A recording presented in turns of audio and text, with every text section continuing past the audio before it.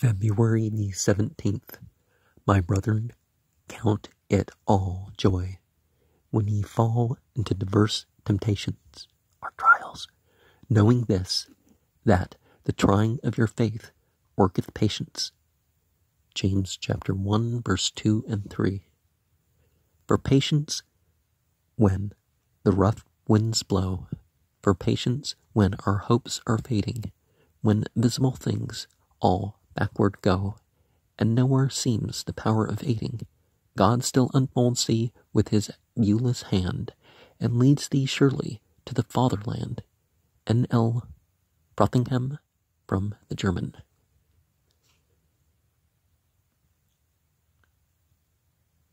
We have need of patience with ourselves and with others, with those below and those above us, and with our own equals with those who love us and those who love us not.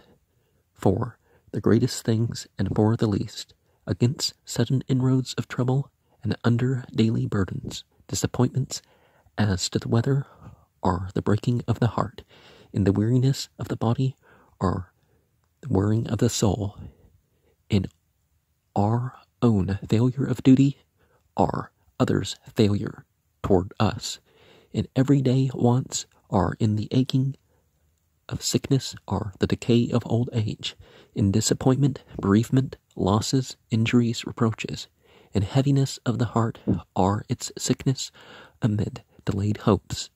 In all these things, from childhood's little troubles to the martyr's sufferings, patience is the grace of God, whereby we endure evil for the love of God.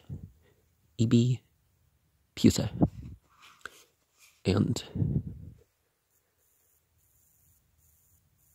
the fact that we, you know, go through life steadfastly does not mean that we, you know, excuse evil or that we don't um, hate the evil within our hearts or speak against it.